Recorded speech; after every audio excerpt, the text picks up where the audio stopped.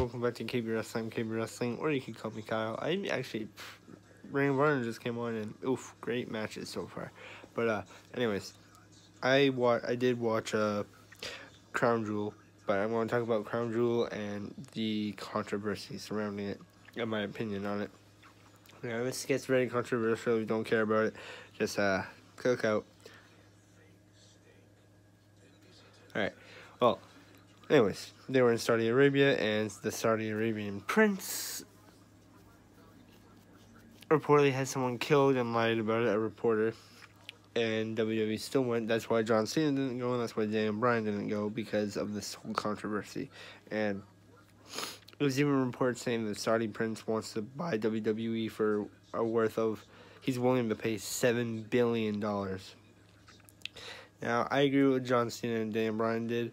I don't think anyone else should have went. I think they should have switched the venue to somewhere else because I they're supporting that. First off, it takes away from the women's evolution because they don't like women.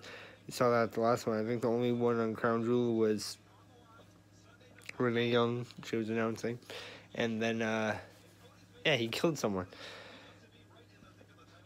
If that's the case, put Chris Benoit back in the Hall of Fame. Well, in the put him in the Hall of Fame. If you're gonna let him go to Saudi Arabia and do that, and then I don't know, but. I agree with John Cena and Dan Bryan. I don't think they should have went. Crown Jewel, Brock Lesnar, he's a new Universal Champion. Uh, like I said, Dan Cormier called him out. Uh, all right, Shane McMahon won the freaking best in the world. So yeah, uh, AJ Styles still WWE champion. Uh, yeah, all that. Braun Strowman took like five F5s, kicked out, and still lost. Uh, Shinsuke is still U.S. champion. Rusev didn't win all that other stuff. But uh, Crown Jewel, yeah, the controversy. I think they shouldn't have one. They should have changed the venue, and it could have been much better better than what it was. DX beat Undertaker Kane. Kane's mask came off by accident because uh, I think HBK accidentally ripped it off. Uh, how you gonna keep booking Undertaker to lose?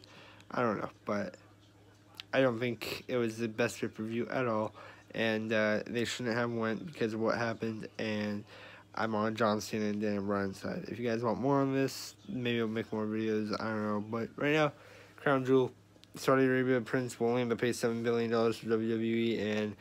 Crown Jewel, I don't think was that great, and I don't think they should have went.